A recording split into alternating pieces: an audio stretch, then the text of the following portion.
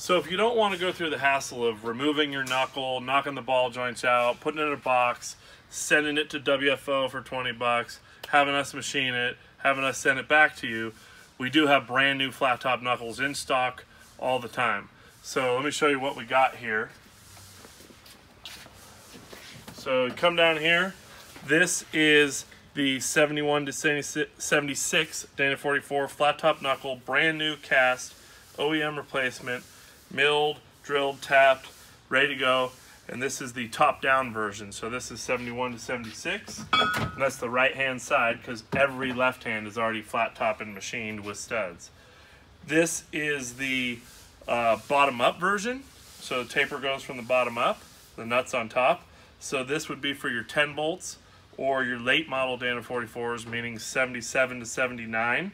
And this is a you know right hand bolt-in replacement flat top knuckle.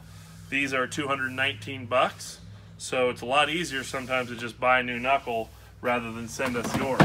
So just to see what we're talking about, the reason why you get a knuckle and machine it is this. We have the crossover steering arm, stud kits, nut kits, cone kits.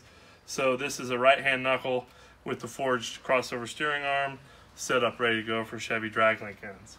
Now, one more thing that we have, if you're definitely going to full high steer, is we have the armless Dana 44 knuckles.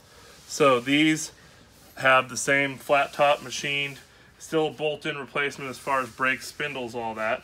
They have dual steering stops threaded into them, but they don't have the factory arm sticking off. So if you're gonna run high steer, then this is a nice option too. We have pairs of these. You can check those out on the website. Now, lastly, if you have a Ford Dana 44 and you want the flat top knuckles, then we carry the Reid knuckles. You can see those on our website. We don't have anything for Dodge Dana 44s. Uh, the Reid knuckles will work for three quarter ton Ford Dana 44s and half ton Ford 44s.